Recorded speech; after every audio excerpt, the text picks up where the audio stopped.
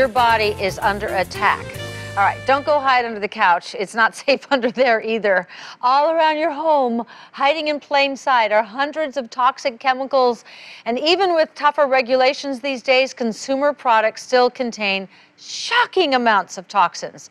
So it's time to tell the truth about toxins. And to reveal some of these surprising everyday enemies, we've invited Peg Moline back, editor in chief of Natural Health Magazine, which provides insight into health, fitness, and everyday living. Welcome, Peg.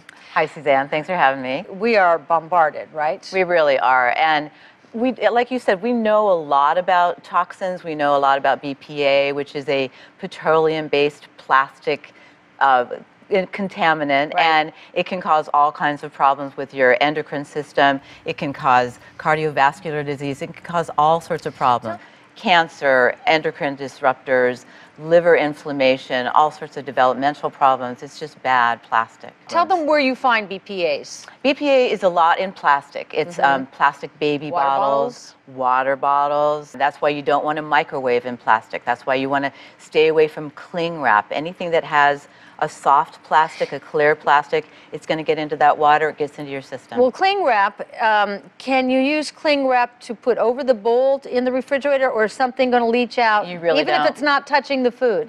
If it's not touching the food, you're going to be okay as long as you don't set your uh, pizza box on top of right. it here's the other thing about BPA and other, all of these grease lining, grease resistant coatings, microwave popcorn bag, oh. the pizza box, oh. um, the cling wrap, it's leaching box. into the food that, and then you eat it. Now, if you have cling wrap, something comes in cling wrap, you might want to just slice a little layer off of it so you're not ingesting it the receipts that you just paid for. Receipts. They've been found to have these? as much as a thousand times more BPA than you'd get from canned food, canned food liners, plastic bottles. If you do come in contact, make sure you wash your hands really quickly because this stuff can can sink into your skin and then get too deep and get into your bloodstream. New car smells. Uh, yes, the new car smell. We all love that I new car smell. It. I know, we, we really do. What it is is a bouquet of flame retardants, plasticizers, oh. all sorts of heavy metals that are off-gassing from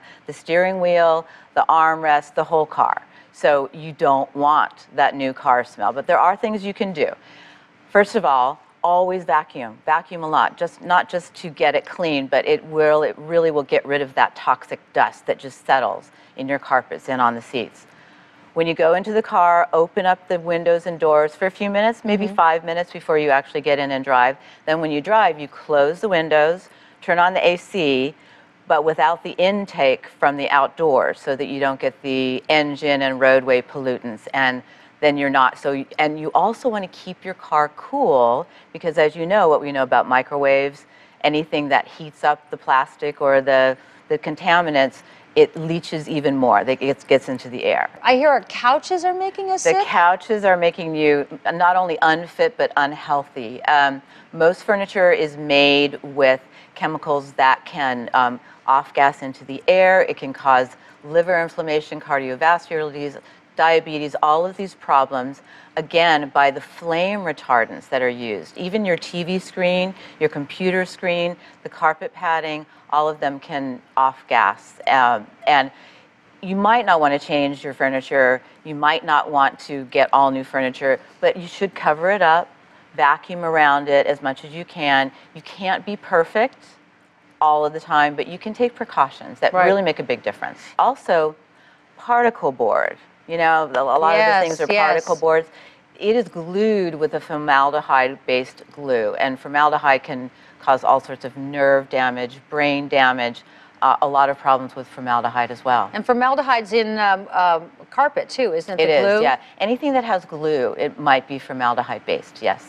Here's the good news. Mm -hmm. If you make some changes, like not getting cans with BPA in them, not using personal care products with phthalates, there's a study that showed that you do that for three days, eat fresh whole foods, don't use things that have phthalates in it and, and other chemicals, you reduce your BPA by 66% in just three days and your phthalate levels by 56% in just three days. So you can do it and it makes a big difference just making small changes. You don't have to do everything.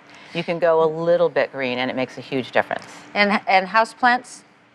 Houseplants, the great thing about houseplants is that they can take the toxins out of the air. Uh, the pothos, uh, the peace lily, rubber plant, uh, English ivy, they absorb the toxins and they can make your house healthier. You are doing such good work with your magazine. I can see as editor you have this passion and also you're very, very knowledgeable about this. Solutions, um, you can go to um, your magazine or your website. What is the. Uh, The website is naturalhealthmag.com, and Natural Health is sold on newsstands, in bookstores, many grocery stores carry it, or you can subscribe, which is always it's a great. fascinating magazine and it's you. filled with the kind of information that I like. Um, to, it's unfiltered and tells you the truth. Thanks so much for coming. We'll be back.